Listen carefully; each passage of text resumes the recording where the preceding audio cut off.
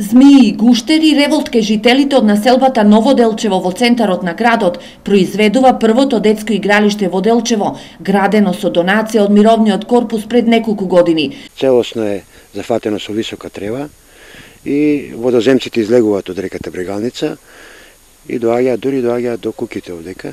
Веќе 3-4 змии имаме фатено овдека и во дворовите кај нас. Жителите не знаат каде однесена опремата на игралиштето, но знаат дека општината не презема ништо да го среди овој простор кој е на 50 на метри од новата црква. Дојдоа од а, Брегалница, из, извадоа, сите ги извадоа играчките и ги однесоа во кој правец ги однесоа, никој не знае. А некаде слушам дека е правено друго игралиште, а се употребени истите реквизити и играчките.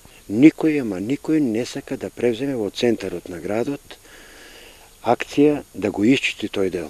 Од јавното комунално предпријатие Брегалница не информира дека ова игралиште нема повторно да се уредува, но површината богата со треви ќе биде средена.